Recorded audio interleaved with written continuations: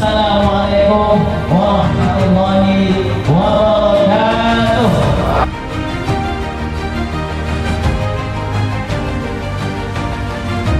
Tak panjang lebar, hanya ucapan terima kasih yang tak terhingga kepada semua yang hadir pada hari ini atas undangannya dan inilah pertama kalinya SMP Quran Labaik membuat acara perlepasan. Generasi-generasi SMP ini adalah generasi utama, pondasi awal ketika akidahnya kuat, imannya mantap, adab dan tata keramanya baik, maka akan menjadi perilaku yang terbaik ketika dia nanti terjun di masyarakat. Karena di masa-masa SMP ini ini adalah masa di mana seorang manusia mencari jati dirinya. Untuk santri uh, minta tolong ya nak ya Walaupun nanti sudah lepas dari sini, kalian masih koneksi. Koneksi itu penting ya.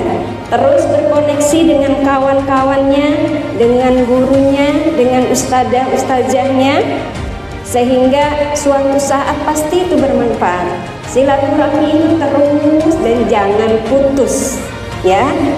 Kepada anak-anak yang sudah di wisuda dan juga kepada orang tua supaya diingatkan putra putrinya untuk di murojaah hafalannya insya Allah apa yang telah disebutkan tadi orang yang menghafal Quran orang yang membaca Al-Quran lalu menghafalkannya itu udah sendirinya dimasukkan surga kedua orang tuanya membawa sepuluh dari keluarganya. Bahkan dalam salah satu hadis ya disebutkan man man arada yarju liqa Allah falyukrim ahlallah orang yang ingin masuk surga dan bertemu dengan Allah maka muliakanlah ahlinya Allah. Keluarganya Allah bahasanya. Lalu para sahabat nanya halillahi ahlun. Apa Allah mempunyai keluarga? Qala alladhi yaqra'ul Qur'an. Yaitu orang yang suka megang Quran terus Quran salat sini dibaca. Itu insya Allah hanya bisa dilakukan oleh para penghafal-penghafal Quran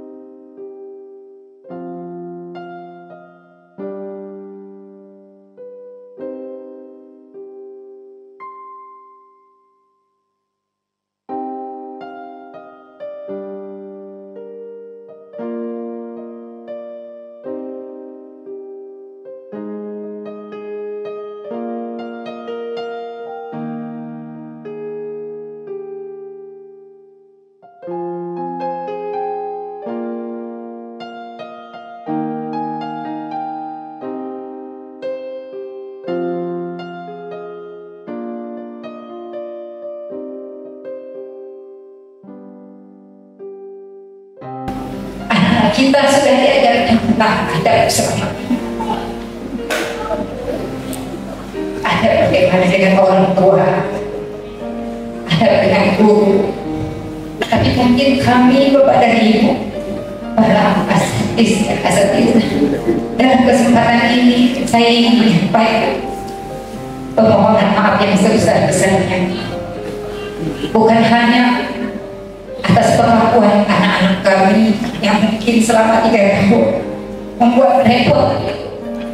Para asantis dan asatiza tapi juga kami mohon maaf. Barangkali kami selaku orang tua dalam selama tiga tahun ini banyak hal yang kurang berkenan. Kepada para asantis dan asatiza maka mohon dalam kesempatan ini dibukakan pintu maaf yang sebesar-besarnya sehingga dengan kemaafan dari para asatis dan asatiza memberikan kemudahan kepada putra putra kami untuk melanjutkan pendidikannya di jenjang yang selanjutnya.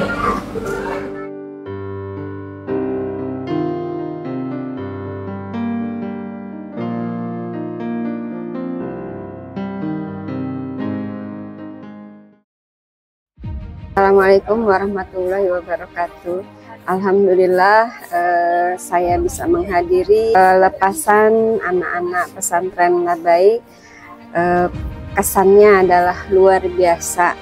Orang tua dan eh, masyarakat juga pengelola pesantren bekerja sama dengan baik.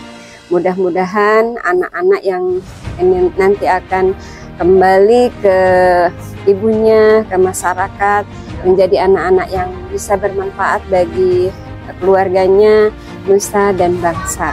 Dan eh, pesan untuk anak-anak, mudah-mudahan kalian bisa eh, hafalannya terus dan terus bertambah dan bisa dimanfaatkan di masyarakat. Terima kasih. Assalamualaikum warahmatullahi wabarakatuh. Bismillahirrahmanirrahim. Assalamualaikum warahmatullahi wabarakatuh. Uh, Alhamdulillah hari ini luar biasa 11 Mei 2024 setelah tiga tahun pesantren Labaik ini Indonesia yang diajukan itu sudah mulai pendidikan dan saya tidak terasa tiga tahun itu luar biasa beliau Sarafin Zulfikri beserta para pengajar semuanya sudah merintis dari nol bahkan membangun bersama masyarakat Anjungan. Alhamdulillah luar biasa hari ini sudah nampak hasilnya. Salah satunya ada wisuda pertama. Pesantren Tafid Al-Quran SMP-nya yang ada di Anjungan. Saya pribadi sebagai mewakili Menteri Agama Kabupaten Mempawah juga acara pribadi mengucapkan terima kasih yang sebanyak-banyaknya sebesar-besarnya kepada Dewan Guru, Asatid yang ada di pesantren Labaik Anjungan sudah membantu mencerdaskan anak-anak usia SMP baik yang dari Anjungan ataupun dari Pontianak dan Kalimantan Barat. Mudah-mudahan apa yang dikerjakan oleh asatid juga ustadzat yang lain ini bermanfaat untuk anak-anak juga untuk mereka sendiri dan yang kami harapkan dari anak-anak adalah selalu kaitkan batin kepada para guru selalu jaga hafalannya dan juga tata kerama tingkah laku yang diajarkan oleh para guru jangan sampai hilang. Supaya ilmunya tidak hilang hafalannya tidak hilang dan insya Allah itu yang membuat siapa pun yang lulus dari pesantren apalagi dia pesantren tafid Al-Quran itu membuat mereka bermanfaat. Tidak mesti harus jadi PNS dan sebagainya tetapi yang penting adalah bermanfaat di masyarakat. Barangkali itu yang bisa sampaikan sekali lagi saya atas nama Kementerian Agama Kabupaten Mempawah ucapkan terima kasih yang sebesar-besarnya. Sukses selalu untuk para asatid untuk wisuda yang kedua ketiga dan seterusnya. Mudah-mudahan Allah selalu memberikan kekuatan dan kesehatan sehingga kita dapat terus mengabdi beribadah mengabdi kepada masyarakat dan beribadah kepada Allah Subhanahu terima kasih Allahumma Assalamualaikum warahmatullahi wabarakatuh Bismillahirrahmanirrahim Assalamualaikum warahmatullahi wabarakatuh Alhamdulillah, wabarakallah buat uh, seluruh santri tentunya kami mengucapkan selamat tahniah pada seluruh santri yang hari ini telah uh, melaksanakan akhir sanah. Ya. Jadi hari ini adalah hari yang yang sebetulnya sebuah kebahagiaan, sebuah uh, sekaligus rasa sedih mungkin mereka akan berpisah dengan orang yang biasa membersamai mereka. Nah, jadi kami sebagai orang tua, saya orang tua dari Sazada Fahri Wildani juga uh, menemukan sebuah perubahan yang besar alhamdulillah dari proses yang sudah dijalankan selama ini di Lebaik dan hari ini adalah pamungkas yang sudah hari terakhir hari puncak. Kita bersua dengan uh, para uh, para asatid yang membersamai mereka para pejuang-pejuang yang bersama mereka. Jadi inilah ternyata orang-orang baru kita ketemu hari ini kalau biasanya berkunjung kita tidak lihat tapi hari ini kita bisa lihat semua. Dan uh, saya pribadi sangat uh, berpuas hati dan mudah-mudahan uh, rasa ini bisa terjaga dan lebih baik ke depan dapat lebih mengembangkan apa yang sudah ada sekarang dan insya Allah Allah akan menjaga.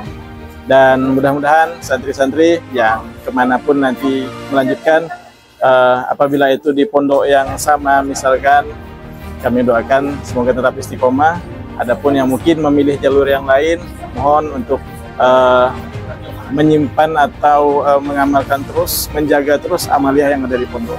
Dengan demikian insya Allah kerja uh, dapatlah uh, generasi yang Qurani yang terjaga sampai hari nanti. Amin. Makasih banyak baik yang telah membuat program luar biasa ini dan semoga Allah berikan kekuatan untuk terus berkembang. Amin.